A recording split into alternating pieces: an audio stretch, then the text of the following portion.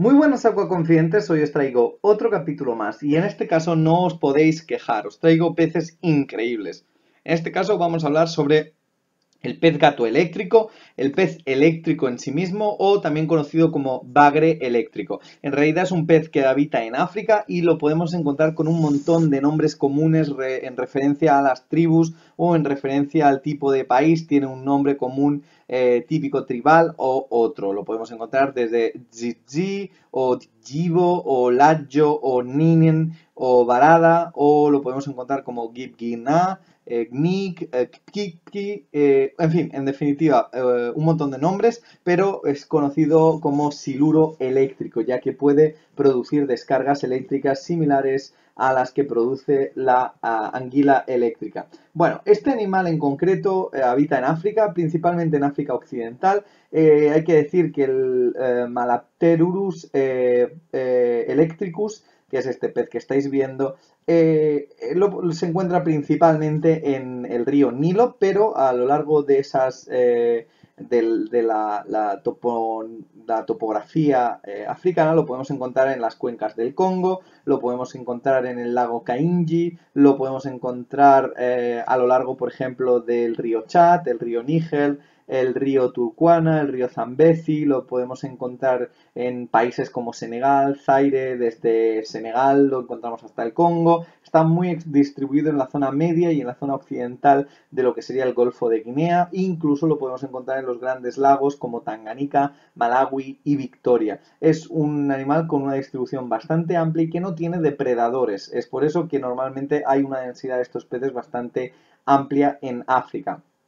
Estos eh, peces pertenecen a la familia de los Malapterugidae. La familia esta eh, tiene un, eh, junto con la Paradoxoglanis, tienen unas 16, 18 especies de, normalmente de pequeño tamaño, pero en este caso el Malapterus, Malapterurus electricus es una de las especies que más, más crecen. De hecho, el tamaño máximo de estos animales está en los 122 centímetros, es decir, en el metro y pico. Eh, y además cuando son adultos suelen pesar casi 20 kilos. En acuario normalmente mi experiencia mm, no, no, se suele encontrar más de 60 centímetros, pero es un pez bastante grande, bastante consistente que normalmente lo suelen tener en acuarios públicos ya que eh, pertenecen, eh, tiene una forma bastante difícil de tener en etapa adulta eh, en acuarios particulares. La temperatura sería entre 23 a 30 grados, el rango es bastante amplio por el tema que hemos dicho antes, porque realmente habita en muchísimos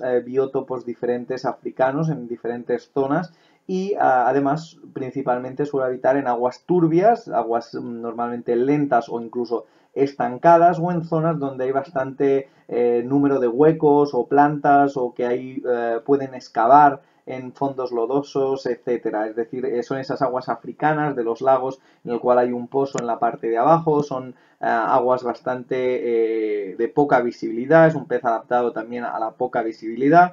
El acuario debe ser un acuario específico de 700 litros, no puede convivir con ningún pez, ni de pequeño tamaño ni incluso más grande que él, porque él a la que se sienta mínimamente eh, con otro pez va a soltar la descarga y aunque sean grandes, eh, unas descargas eh, constantes pueden hacer que el pez se aturda y que el pez acabe muriendo e incluso este animal puede matar a los peces. Hay que poner muchos escondrijos con cuevas, con troncos, con rocas, con lo que queráis, muchos escondrijos. Es ideal en este caso como se enseña a hacer un laberinto de tuberías subterráneo ya que se sienten mucho más cómodos. Es un pez también con cierta tendencia excavadora, por lo que normalmente suele remover bastante el sustrato e incluso si tenéis plantas la suele levantar. Al igual que eh, es muy robusto y tiene eh, esa forma tan, tan musculada, puede llegar a, eh, bueno, pues eso, a tirar piedras o remover la decoración. Por eso que tenemos que anclar bastante bien la, decoración, ya que es un pez que a veces incluso se puede volver muy nervioso y puede, podría tirar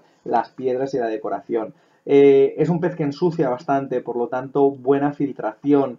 La grava tiene que ser suave, ya que, como ya veis, no tiene escamas, por lo tanto, es un pez que, aparte de que es susceptible a coger parásitos y hongos, etc., las rocas tienen que ser eh, suaves, ya sea arena o ya sea una roca, una granulometría bastante fina y que no tenga bordes cortantes. El acuario yo aconsejo siempre taparlo, es un pez que puede pegar un coletazo perfectamente y salirse fuera del acuario, por lo tanto, eh, pez, eh, el acuario siempre tapado y se puede eh, como he comentado antes, poner o tuberías sueltas o directamente un laberinto de eh, tuberías. Es importante remarcar que este pez, eh, como tiende a ocultarse, si tenéis calentadores en formato horizontal, lo que tenéis que hacer es intentar que no se meta por debajo del, del calentador, ya que son peces que normalmente podrían llegar a ser susceptibles de ser quemados por los calentadores. Eh, la iluminación es importante que sea tenue, es un pez que no está acostumbrado a grandes iluminaciones, por lo tanto, iluminación eh, tenue. Los parámetros también son muy amplios. De pH lo podemos encontrar en biotopos de 6.5 o incluso en los grandes lagos africanos con 7.7, 7.8, 7.9, incluso hasta 8.2 de pH. Y de GH lo mismo, el rango es bastante amplio de 4 hasta 20 grados de GH. Aquí vemos un pequeño experimento que es que si, ponemos unos, unos altavoces eh, y conectamos el cable del altavoz en vez del jack al jack del ordenador y lo metemos en, el agua, lo que vamos a notar es ese pulso eléctrico que normalmente eh, emite este, este animal. Vamos a escucharlo un poco. Cuando sacas del agua para y cuando lo metes entra el contacto y el pez emite la descarga eléctrica. Hay que decir también que este animal eh, es diferente a, por ejemplo, eh, los, eh, la familia de los peces eléctricos de la familia de los apteronótidos o de la familia de los nanotéridos o de la familia de, de, estos peces que emiten un pulso de baja frecuencia para orientarse. Estamos hablando de peces que tienen placas eléctricas y que pueden realmente emitir una descarga realmente que pueda aturdir a una persona adulta. Eh, es importante también entender la alimentación. Este pez no puede estar con ningún eh, animal ya que son muy eh, insistentes a la hora de matar a una presa mayor, entonces no parará de, si tenéis un pez más grande que él, no parará de, darle descargas hasta que realmente acabe matándolo. Es un depredador normalmente oportunista, es decir, que espera normalmente a que se acerque la comida y luego la aturde y acaba engulléndosela. Come especialmente durante la noche, es un animal de hábitos nocturnos en general y básicamente el movimiento que, que vais a ver a lo largo de la noche es sencillamente por la necesidad que quiere él de cazar. Entonces es el único movimiento, durante el día va a estar inmóvil y por la noche el movimiento es para ir a buscar algún tipo de alimento. Es un pez bastante fácil de alimentar, no eh, requiere tampoco de grandes dificultades eh, a la hora de alimentar, suele preferir el alimento vivo, alimento en peces, es un pez eh, depredador de piscívoro, entonces podéis darle peces vivos, cometas, podéis darle una amplia variedad de peces o eh, también se puede adaptar a la comida seca de fondo o también se eh, puede alimentar a través del alimento congelado. Es un pez que le gusta, por ejemplo, muchísimo el krill, las gambas troceadas, los camarones, eh, incluso los trocitos de pescado o incluso la carne. aquí vemos una prueba de electricidad. ahora la veréis más, más adelante. me, quería saber exactamente la potencia de la electricidad, así que lo que hice fue pues meter la mano, ya que ahora lo veréis. Fijaros cómo se curva. hay que decir que eh, el choque ah. eléctrico, el choque eléctrico eh, de estos ejemplares, este ejemplar por, ejemplo mide unos 10 centímetros, em, es bastante intenso. O sea, 10 centímetros eh, es como si te, te, enramparas con un enchufe de casa. Es, es bastante intenso, un, un, enramparse de esto rápido que te da y de repente lo sueltas. Eh, sí que es cierto que este medía 10 centímetros, un ejemplar de un metro 20 como se pueden medir en la naturaleza, pueden llegar a aturdirte. Es, eh, eh, realmente me pareció muy intenso, pensaba que, me daría menos, menos fuerza de, electricidad, pero en realidad eh, la potencia que da eh, al tacto es bastante como de, la, de, de enramparte con algún electrodoméstico o con algún enchufe. Es bastante fuerte. Hay que decir que estos eh, animales pueden producir en etapa adulta 350 voltios. Hay que decir que un cuerpo humano suele aguantar entre los 220 y los 250. Lo único que, claro, es solo un impulso gordo que te da, entonces te, te, paraliza, pero eh, sí que es cierto que si este pez produjera una corriente intensa durante eh, minutos eh, realmente podría matar a una persona. No se conocen muchos casos de reporte que haya matado a personas, eh, lo que sí que se sabe es que la anguila eléctrica puede matar y ha matado a personas, pero en el caso de este pez en etapa adulta,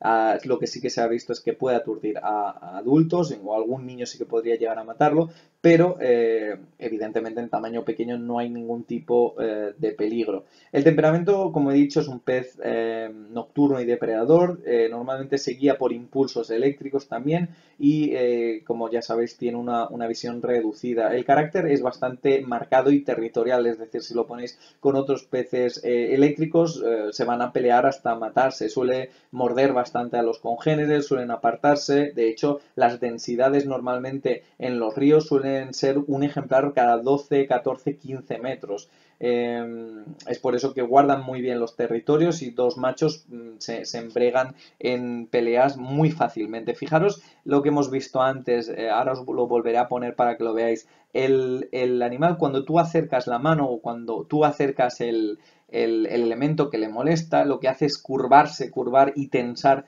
todos los, electrones son unas especies de electroplacas que rodean a lo largo de todo el cuerpo principalmente. Es como una especie de músculo que tiene, eh, rodea todo el, cuerpo y que tiene estas em, electroplacas. Eh, lo que hace es tensarla y producir ese impulso eléctrico que hace que de repente todas esas, eh, electroplacas eh, se activen y generen una corriente uniendo pocas corrientes. Eh, hay que decir que es un pez increíble a nivel de, sistemática de, electricidad diferente bastante evolutivamente a lo que es la anguila eléctrica, pero con algunos puntos en común.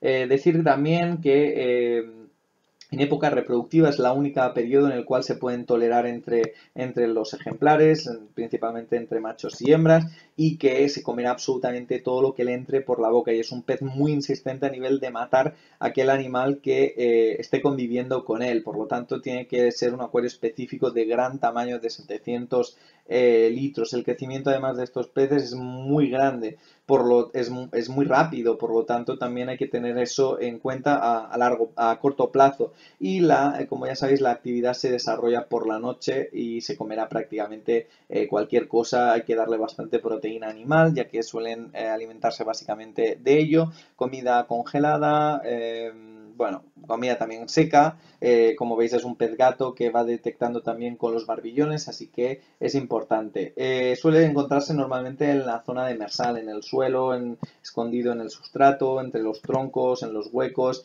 la longevidad son 10 años, es un pez bastante longevo también.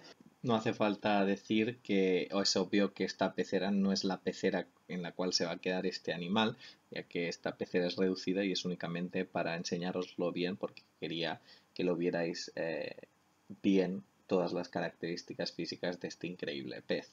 La experiencia para mantenerlo sería media, no es que sea un pez muy em, sensible o muy delicado, pero sí que es cierto que requiere de una serie de protocolos a nivel de alimentación, a nivel de espacio, a nivel de control del acuario, que sí que es cierto que necesita eh, una experiencia media avanzada. El dimorfismo sexual en principio no es aparente, pero se cree que los machos son más delgados, son más estilizados que las hembras. Las hembras tienen una fisionomía más, más rechoncha, más robusta, más cilíndrica y eh, sí que es cierto que incluso cuando están en época reproductiva pueden excavar túneles de incluso 3 metros de largo de profundidad para luego poner las crías, es decir, que es un pez también de cavar bastante en sustratos fangosos, sustratos eh, lodosos. Este tipo de pez ya se describe, es uno de estos peces que cuando hablamos de, la historia de la acuarística, normalmente se mencionaban los peces eléctricos en, en la clase de los apteronótidos, pero también este pez ya se describe en la época egipcia, de hecho eh, lo podemos encontrar a veces en algunos eh, bajorrelieves de, de, la época egipcia, ya que estos peces eh, se, se, se, utilizan en esa época también cómo se describen en esos, en esos papiros y en esos eh, bajos relieves como unos peces también con unas particularidades especiales. Y luego también estas propiedades eléctricas posteriormente en el siglo X en el siglo XII más o, más o menos los árabes también lo suelen eh, renombrar esa particularidad de, la capacidad de los electrógenos eh, de la piel como, y lo, lo, mencionan como el rat o el, o el rash que significa eh, trueno o, en sí mismo temblar o mover, ya que eh, los órganos eléctricos eh, producen ese temblor en, la, en, las, en el cuerpo humano. Em, es un pez sin duda de los más increíbles que una persona puede tener y la, verdad que la experiencia de la electricidad también era algo que, que, ya había probado en ejemplares más pequeños y me sorprendió ahora más avanzado con un poco más de tamaño ese impulso real que, que que, es de, gran, potencia. Eh, no me quiero imaginar cómo serían eh, estos animales en, en, adulto. Eh, lo dicho, espero que os haya gustado, no os podéis quejar, siempre os traigo peces que son muy difíciles de ver, en, de explicar de fichas aquí en YouTube, así que os agradecería que solo tenéis que darle un like, que solo es un clic en el pulgar arriba si os ha gustado y daros mil gracias a todos, eh, gracias por comentar, gracias por todos los suscriptores que somos, gracias, gracias por todo. Hasta la próxima.